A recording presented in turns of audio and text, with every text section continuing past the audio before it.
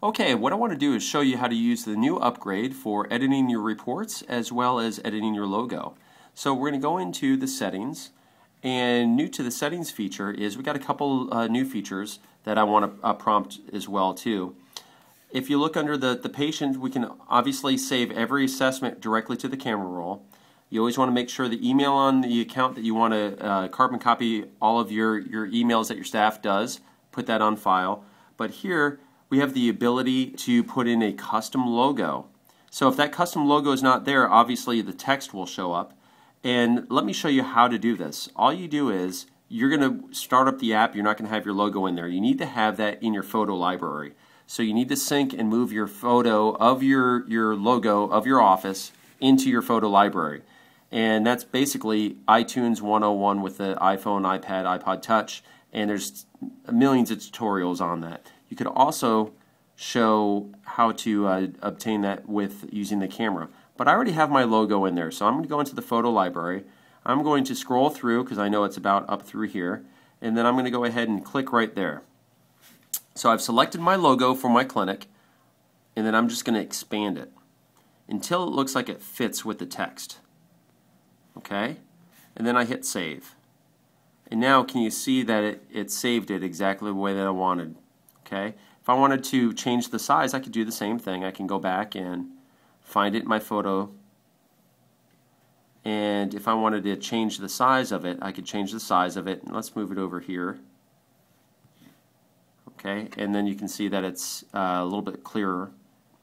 The next thing that we can do is once we set the logo, we can go into initial reports and we can edit the email subject.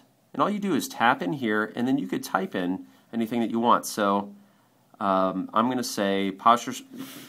Here is your posture analysis um, from. Uh, I'm going to say Dr. Ferrantelli. So now that's going to come up as my new email subject. And then the email body, it's always going to start off with their name, so we don't have to put that in there. But if you look in the email body, you can change any of this text. So put in what you want to. If you're a massage therapist, put in something about massage therapy and how that's going to relate in changing posture. Um, whatever you want to do. You can put links. I put a link to PostureCo. If I wanted to put in my, a link to my Facebook account, I could do so there. Um, you get three links per email. The introduction paragraph, that's this is going to show in the PDF document. This is in the middle of the, the PDF. And the footer, or the closing of the PDF. And to see what it looks like, all you do is hit preview sample. And you can see any of the text that we're going to change would show up here. So any of the text that we would change would show up here. Obviously, this is just a mock picture. But you would see and so this is this paragraph here, that's customizable. Everything that you see except for this text box is customizable. Okay? The next thing that we can do is do the same thing for the comparison reports. So obviously you have to have the comparison reports enabled as an upgrade. once you do, you can go ahead and customize that as well too. So if I wanted to do anything, all you do is tap in here and then you get the keyboard and you can change the text as you see fit. Okay?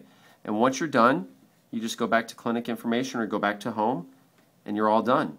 So that is the new feature available in version 1.5 that is due out in July. Thank you.